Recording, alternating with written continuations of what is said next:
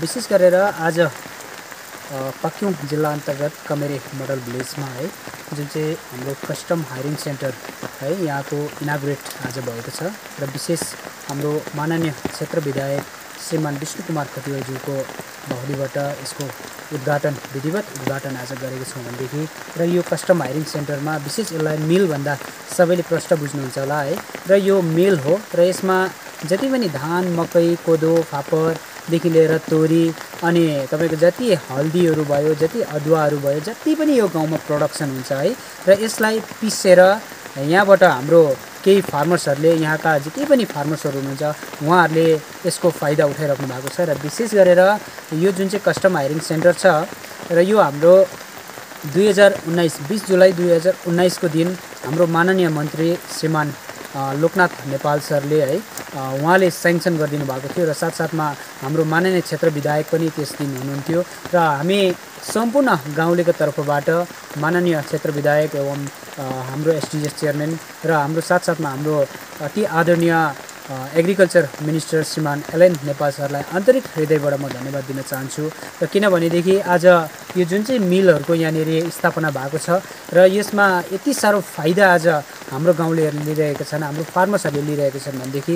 आजबाट यसको विधिवत उद्घाटन भएको छ र यहाँनिर कमेरे गाउँको मात्र नभएर है पदमचे पाचक डुगा चुरीभोटे पान्डम यी वरिपरिका जति गाउँहरू छन् यहाँका फार्मर्सहरूले यहाँबाट केही फाइदा उठाउन सक्नेछन् र विशेष गरेर अहिले हाम्रो जुन चाहिँ वर्तमान सरकारले आज विशेष फार्मर्सहरूलाई ध्यानमा राखेर फार्मर्सहरूको केही मेहनतहरूलाई उहाँहरूले बुझेर यसरी यस्तो विभिन्न मेसिनहरू भयो विभिन्न हाम्रोमा अफिसहरू भयो आज यस्तो सेटअपहरू गाउँ गाउँमा गरिदिनु भएको छ र यसको लागि आन्तरिक हृदयबाट सम्पूर्ण कमेरे गाउँको तर्फबाट म धेरैभन्दा धेरै धन्यवाद दिन चाहन्छु। उद्घाटनको विशेष समारोहमा आज विभिन्न कृषकहरूलाई ऋणक निर्वाचन क्षेत्रका कृषकहरूलाई यहाँबाट पावर टिलर है power tiller chaff cutter brush कटरदेखि लिएर विभिन्न मेसिन्सहरू वितरण गर्ने कार्यक्रम पनि भएको छ र विशेष आजको यस प्रोग्राममा हामीले स्लरी प्रोसेसिङ सेन्टर जुन चाहिँ फ्लेक्सिभ बायोग्यास सिस्टम कमेरी भिलेजमा लागेको छ है यसको पनि हामीले अवेरनेस गर्ने कार्यक्रम आज यहाँनिर सम्पन्न राखिदिनुहोस् न। के भन्न चाहन्छ आज कार्यक्रमको विषयमा? यस्तो कुरा वितरण भयो है। यसमा तपाईँ के भन्न चाहनुहुन्छ? सम्माननीय मुख्यमन्त्रीलाई धन्यवाद र मिडिया हाम्रो कृष्ण भाइ लगायत मिडिया भाइहरूलाई धन्यवाद।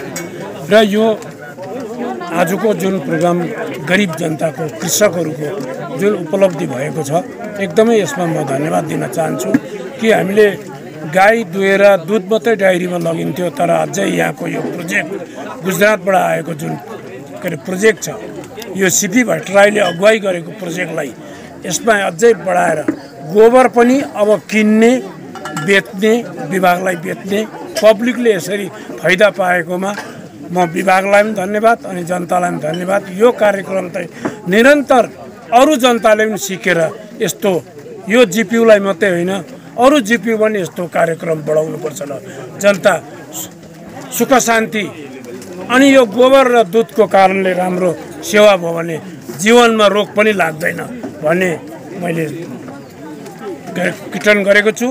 र यति भन्दै सम्माननीय मुख्यमन्त्रीलाई धन्यवाद। मिलको विषय जुन आज यहाँ मैले उद्घाटन गरेँ यो मिल यो यहाँ धान मकै कोदो हर्दी जे पनि पिस्नु छ यहाँका जनताले उत्पादन गरेको अहिले ढिकी र जाँतो मासिएको छ गाउँमा छैन प्रायःको घरमा छैन।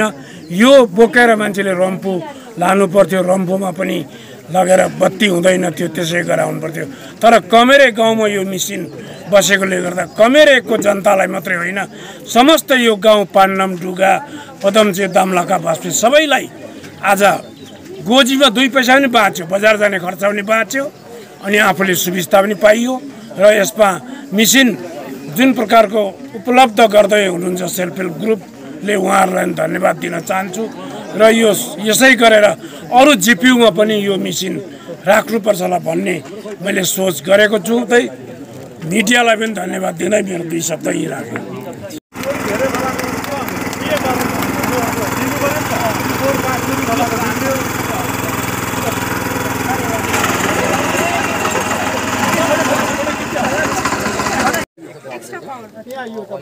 भीमा देवी आउनुहोस्। खै हुन्छ।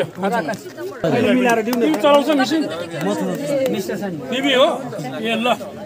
ल चलाउ। चलाउ ल निकाल। ल। देऊ त। हेर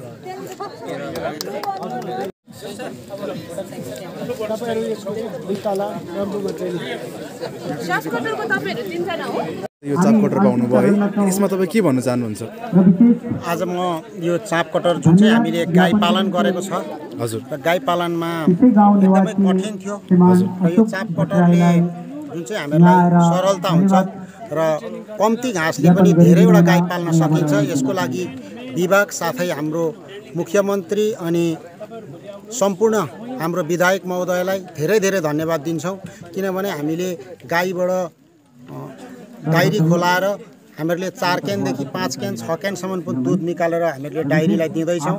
यसले गर्दा हामी सम्पूर्ण विभागलाई एमएलए विधायकलाई मुख्यमन्त्रीलाई अनि हामी धेरै धेरै धन्यवाद दिन्छौँ। यसमा हामी आत्मनिर्भर बसेका छौँ किनभने हामीहरूलाई दुधबाट सबै किसिमको फाइदा छ अनि हामीलाई इन्सेन्टिभ पनि पाएको छौँ र हामी गाउँलेहरू जति पनि दुध उत्पादक समिति छौँ हामी एकदमै खुसी छौँ भनी सरकारप्रति आभार व्यक्त गर्दछौँ।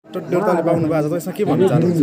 यसमा म धेरै अगाडिदेखि यो एउटा बारीलाई खेती लाउन लागि पावर टिलरको आवश्यकता थियो र सरकारबाट अथवा यो पावर टिलर मलाई वितरण दिँदाखेरि धेरै धेरै यो सरकारप्रति अथवा हाम्रो क्षेत्र विधायक विश्व खताज्यू मार्फत हामी धन्यवाद दिँदछौँ। हामीलाई डिपार्टमेन्ट सम्माननीय मुख्यमन्त्री महोदयको उहाँको उहाँद्वारा हामीले जुन दिनुभएको छ उहाँलाई धेरै धेरै धन्यवाद दिन चाहन्छु। अनि डिपार्टमेन्टलाई पनि हामी धेरै धेरै धन्यवाद दिन चाहन्छु।